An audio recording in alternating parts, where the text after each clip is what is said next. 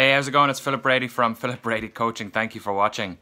I just wanted to do a quick kind of morning routine video and show you one of the things that I do most mornings uh, when I get up early uh, to kind of reflect on where I am and what I need to do next. And I just thought it'd be useful to share because it's one of the things that you can use in coaching sessions and something I guess that if it helps you in any way today, well, then I think that's a good thing. So I just wanted to share it. I guess I've talked before about if you're feeling down or feeling sad, one of the things you can do is look back in your life and reflect on the things that you're grateful for, but also look forward and set goals. And this kind of tool, which is called the Wheel of Life, if you use it in the right way, can be kind of great at looking back at things to be grateful for, but also uh, set goals and know what area to set goals in, and at least then give you that kind of awareness of where you are, where you want to be, and then kind of set steps to get there. So I've just I've drawn it already. Excuse the drawing. I'm not. I haven't practiced my art recently.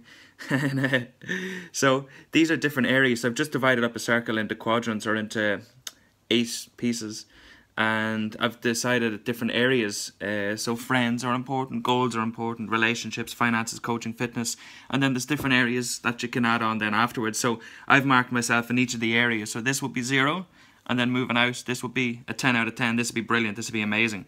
Um, and I guess so finances this week I've marked myself down a little bit. So this could be an area that I set goals. But if you look, relationships is actually pretty high. It's not that bad. It's probably a five or six out of ten.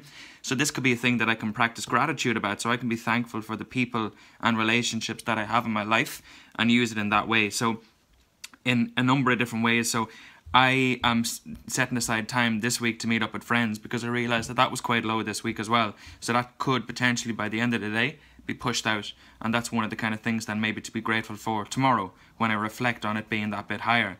So I know I've talked before about kind of looking back and being thankful and looking forward and setting goals. So for the areas that I'm low in, what I do is normally take myself through the grow model. So that's a normal coaching session is kind of like the rough structure that can be used in a session. So it's goal, reality, options, way forward, grow. So G or O W. So the goal could be, let's say, finances. So I want to make an extra hundred pound a month. Uh, the reality is, uh, what? So what do I have available to me at the moment, or what am I currently at? So at the moment, I don't have a hundred pound extra a month, but I'd like it. So that that was the goal. I have resources, so I have people that I can ring. I I can play music, so that's maybe a resource available to me to think about using that to uh, earn the extra hundred pound a month.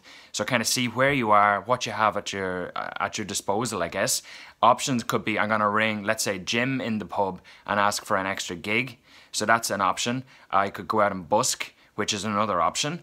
Uh, I could look up uh, playing guitar and selling online tutorials. That's another option. And then way forward, what am I actually going to commit to doing by a certain point in time next week?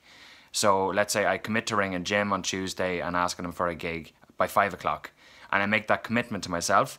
And then when I reflect back on the Wheel of Life maybe next week, I can see that I've done something to push this out. I'm going to feel better about myself because it's an area that I want to improve, which is also going to improve, let's say, if this was music, it's also going to improve that area. So I can see that I've done something for two, set a goal, realised where I was, taken kind of check, and uh, I think it's a really useful tool. So I just thought it'd be interesting to pass it on, and I hope, I guess, that your wheel of life looks interesting.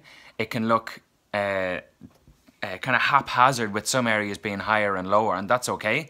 But it kind of gives you a, a visual way of representing where you are. If you want to improve the areas that are lower, go through the grow model. Goal: What do you want? Reality, where are you now? Options, what could you do? And way forward, then what are you actually going to commit to doing by a certain point in time? And I just hope that that's helpful to you today. Um, practice gratitude on the things that are scoring highly for you because that's another kind of, you cannot feel fear and gratitude at the same time.